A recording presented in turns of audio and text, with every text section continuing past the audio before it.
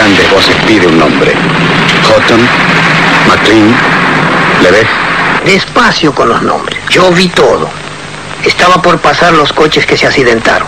Houghton, McLean, Levesque, Fangio. Velocidad alrededor de los 250 kilómetros por hora. Han pasado ya tres horas. Es tiempo de cambiar de piloto. Houghton disminuye su velocidad y dirige su coche hacia los boxes. Es la maniobra que después le será discutida. Houghton la comenzó mucho antes de 300 metros de los boxes, de manera correcta.